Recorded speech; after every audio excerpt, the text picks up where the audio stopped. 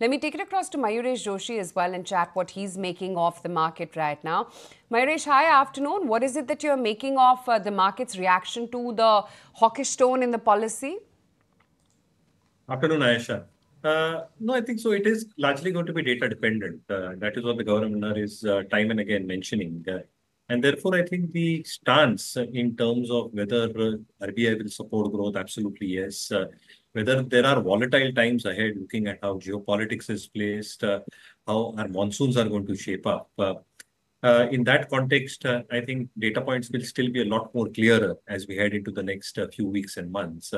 and therefore, I think not too much of hawkishness, in my opinion, at least. Uh, uh, the uh, the reiterance of the GDP growth is also very, very positive in the sense that the markets might have a look at how GDP numbers might actually stack up. and with better monsoons, inflation might actually start heading lower, specifically food. Uh, so to that extent, I think uh, a decent policy, I think on expected lines. But Aisha, ultimately the markets will revert back to how earnings growth are expected to take place. Uh, earnings have been a little bit softer this time around. Uh, obviously, the base of the last two years is something that we have to contend with. Uh, but again, with better monsoons, expectations of rural discretionary spending coming back, the second half recovery, at least on the consumer discretionary segments, uh, along with expectations in some recovery expected in uh, the IT segment and services as a whole, along with exports, uh, should help picking pick up earnings as we head into the second half. So not to perturb, I think the global events is something that the markets are a little bit uh, perturbed with, both in terms of the yen carry trade, which is still probably uh, uh, not done and dusted with what happens in terms of the geopolitical issues in Iran, Israel, and uh, the US economic uh, data points and stats, uh, how do they evolve, and ultimately the rate cut in the US as well. So I think volatile times, but Indian markets are relatively better first. But um, if you go by what JP Morgan asked today, to say 75% of the yen carry trade has already unwounded for now. So maybe not too much pressure coming from there. But talking about earnings, um, earnings reaction visible on BSE, which is 9% higher. And on the downside, you have Lemon Tree, which has also taken a cut of 9% because the Q1 earnings were weak. Um, Mayuresh, any word on the hotel space? Uh, would you still be a buyer? And this 10% dip on Lemon Tree, does it present a buying opportunity indeed? So afternoon, Anisha. I think uh, Indian hotels, uh, EIH is something that we still continue holding in our global portfolios. Uh, for Tree in particular, uh, I think uh, what has really transpired is that the uh, occupancy uh, rates have actually come down from 72% to 66 odd percent. and obviously, I think if you look at their room tariffs as well, they have come down from, if I'm not mistaken, six and a half thousand, 6,800 to 5,800 the revenue per available room has come down from 4,800 to 3,800 odd rupees. So to that extent, there is some element of stickiness that comes through in numbers. But one must also understand both in terms of their own properties as well as the managed properties that Lemon Tree has taken over. They've had a substantial addition in the last few quarters. So the ramp up is going to take time. So it's absolutely a transition phase. They are also doing doing capex in a few of their other properties. The refurbishment expenses as a percentage of total expenses has actually gone significantly higher, which is also a good sign in terms of maintenance of their properties as well. Uh, so yes, I think uh, a, little bit below par for Lemon Tree, uh, but uh, from the space, uh, Indian Hotels EIH still remain holds at our end, and as a clear disclaimer, they remain in a group. Okay, so that's a view coming in as far as, as some of these hospital, uh, sorry, uh, hotel stocks are concerned, I beg your pardon. But BSE, that stock is high by 9%. In fact, BSE and NSE both interestingly came out with the numbers yesterday. My colleague Sharad has done some number crunching as to how the numbers stack up. Let me take it across to him to get a better sense of the numbers because BSE is clearly flying away. Sharad? Yes, actually, if you look at it, a strong performance for the June quarter comes up both for BSE and NSE. But now let's look at how they actually perform against each other. That will be very interesting. First, we pick up the revenue growth and the PAT growth itself. And if you look at it over here, the BSE numbers, they come in at almost 149 odd percent. And also if you look at NSE, that comes in at 51%, a kind of a moderation growth when it comes to NSE. But do remember BSE had some one-off adjustments in the base quarter as well. The, the CDSL stale stake, stake also was there, which impacted the higher PAT numbers. Now let's look at the margin growths and how the EPS stands. That is also something very important to track. If you look at it, margin growth was almost 600 basis points when it comes to your NSE and for BSE it was 1400 basis points. So that is a clear winner here, BSE. But if you look at the overall EPS numbers, that itself is almost three times of NSE as compared to BSE. Also, let's look at some operational numbers, the average daily turnover, how it happens for the cash market. That is something I'd like to point out. The growth, look at these numbers, 124% for BSE, NSE this is 110%. The market share itself, of course, is skewed very highly in the cash market when it comes to NSE, but the derivatives market share now do remember this includes FNO and it's on a calculated basis. It itself NSE has been gaining for the last 4 to 5 odd quarters coming in at roughly 25% of the market share. So that is something which BSE has been gaining. Also there's some key commentary coming in for BSE like what are factors leading to strong growth. The star mutual fund transactions that has gone up 72% on a year on year basis. For NSE if you look at it a strong performance across segments they also have recorded and also the derivative segment for BSE on a low base that has been growing. NSE is likely to be highly impacted from the recent FNO curbs as well because they are the larger body going ahead and also the number of contracts are also on the higher side. Star platform, IPOs, transaction services, they are also aiding the BSE's growth. Right, okay, that's uh, some of the analysis and market data coming in. But looking at a five year continuation of the current bull market, that's the word coming in from none other than market mogul Mark, uh, Mark Mobius. Uh, let's try and understand why he's so bullish. Here's an excerpt of his exclusive chat with us earlier today. Mark, we are calling the bull market in India as the common man bull market. It started because of the force of domestic institutional investors. The previous bull markets have been named as TMT bull market or infra bull market. If the starting point of this bull market, which is in Sensex terms, let's say was 40,000, how long do you think this bull market on the Sensex or Nifty will go before it tops out? We're looking at a five-year uh, continuation of this bull market, in my view. Of course, there'll be corrections along the way. You know, you'll get 10%, even 15, 15% corrections. But generally speaking, uh, this is a five-year trend. And as long as the growth rate continues the way it is going, uh, we can go on for much longer than that. Five year, you're counting today, and then five years, you're counting from the bottom, which is 2021, and then five years. Yes, yeah. It looks, uh, India still looks terrific. My question is just to get it right. When you say it's a five-year bull market, your starting period is today or your starting period is the bottom of this bull market, which was in 2021? Starting from today, I would say. Oh, wow, wow, wow, wow. so you feel that this bull market still has another five years to go. Wow, again. Yes. Not only five years, 10 years to go. Back with closing trades right here in ET now. Let's just uh, take stock of uh, what is happening in the market right now. While, of course, the index is currently hovering half a percent or so lower, MRF has shot up quite nicely. There's Trent, which is doing very well. Bharat Forge is holding up 3%.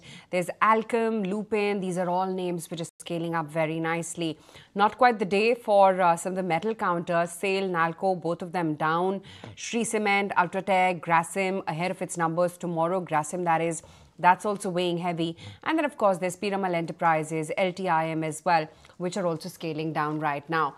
But Vishal Malkan, too, on the show with us. Vishal, uh, what is it that you're making of HDFC Bank's uh, standalone outperformance within the rest of the banking pack? And perhaps that's the one because of its high weightage holding the Nifty Bank up as well.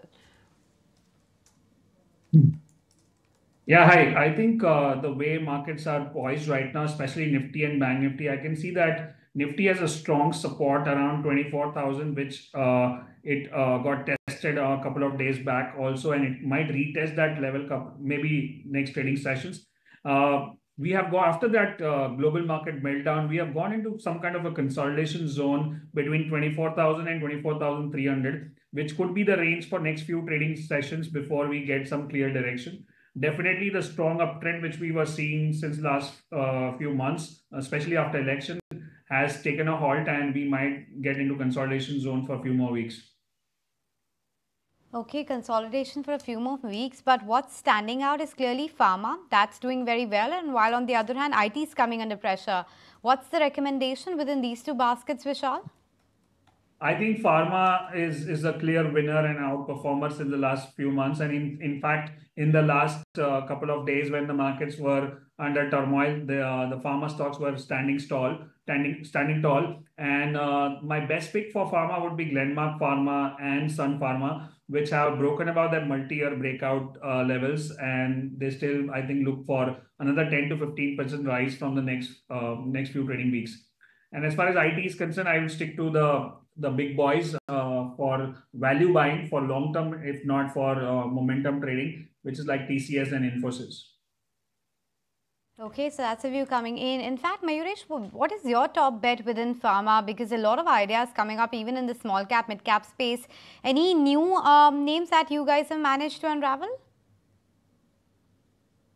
Market space, if on any decline, is Morepen Labs. Uh, our take is uh, the medical equipment business, especially the glucometers and the blood pressure monitors that they manufacture, that's a huge value add because as sales evolve for these two core products itself, and specifically for the glucometer, uh, the strip sales is an incremental revenue that keeps on coming through, and that needs a regular kind of a usage uh, in terms of uh, monitoring your glucose uh, levels as well. And therefore, I think uh, the medical devices business is expected to grow very, very decently for more Morepen Labs. Uh, the API business that is getting managed, uh, they've got six blockbuster APIs uh, where the cash flows remain extremely strong. and the management is very, very hopeful of introducing a few more in the coming few quarters. as they ramp up, the cash flows from the existing six APIs that they are managing at this juncture will ensure that the cash flows remain extremely strong. And therefore, the EPS growth uh, should remain relatively higher over the next two years uh, as far as earnings is concerned. Uh, from a balance sheet perspective, I think it maintains and possesses a very stable balance sheet and return ratio should improve as you see a margin uptick and bottom line growth. so any pullback on Morepen Labs is something that we like at Markets Spread direction. Right. Okay, in the meantime, there's all excitement around the Ola IPO listing as well. Remember, the price band had been set at 72 to 76 rupees. It's a, a huge one because it's the first from an all EV stable uh, coming in. It's a combination, of course, of a fresh issue as well as the OFS. And it's seen quite uh, a bit of subscription as well. The total IPO got subscribed almost four and a half times. Uh, just wanted your sense, Mayuresh, on uh, you know whether or not at the current valuation you think uh, that uh, you know Ola was a subscribe from you, where you think it's going to get listed, and whether you know uh, the market will give a better opportunity, if not at these levels, to buy into this uh, particular company. But Aisha, I think uh, it is expected to be a decent listing for Ola Electric. Uh, having said that, I think uh, if, it does correct, I think it does present a good opportunity because the space that it is in, the kind of reviews that it is getting for its existing portfolio and expectations of more launches coming their way is something to probably be looked at. but valuations is very, very expensive at this juncture. So you need a pullback post listing on this one. Uh, till that period, periodicity of time, I think a better way to play this would be the auto ancillaries. And therefore, we remain a little bit more sanguine in terms of a lot of these auto ancillary stocks, which have got exposure not just to the original equipment manufacturers as far as ICE engines are concerned, but also starting to cater to the EV mobility and platform businesses as well. Uh, let's not forget the replacement market for both these segments can also grow exponentially for these auto ancillary players over the next few years. So I think auto ang selectively becomes a very, very interesting place as a proxy to the mainstream uh, auto companies. Okay, fair enough. We'll uh, watch out for that and the way it lists come tomorrow. It is going to be surely an interesting one. But um, I wonder what's keeping uh, the investors of Honasa quite active today in the trading session because that stock is also trending quite a bit um, uh, higher. Yes, 8 to 9% higher on that one. Uh, the earnings I don't think are out at the moment. In fact, the earnings are expected to come out later. But what's the sense on this one, Mayuresh? It was it was a bit of a sideways move for a long time for this company. But uh, do you expect it to now make a bit of a comeback, and even Nykaa for that matter? So for both these stories, Anisha, I think we will wait it out because uh, earnings have been uh, relatively patchy, uh, and you're probably not seeing the consistency that one really needs to see in terms of earnings delivery. Having said that, the expectations in terms of more products uh, being launched uh, product profile actually being more diversified, specifically in the case of Honasa, as well as more brands launched under Nykaa, is something to be watched out for. But I think how's the response level coming through? What are the different mechanisms they're probably going to adopt? Uh, and the multi-channel approach that probably ensures that their volume growth probably remains very, very stable and not sticky as we've seen in the past. Uh, so would ideally like to see both their numbers, but our sense largely is uh, that they are going to remain in a range-bound action uh, uh, for some periodicity of time. Obviously, from the lows, both these stocks have bounced back over the past few months. But again, I think there will be stickiness as far as numbers is concerned, and therefore a range-bound action is something that we perceive for both these counters going forward as well. Okay, we're going to take a very quick break on that note. Come right back. We'll continue tracking markets on the other side. If you like this video, then like, share and subscribe to ET Now.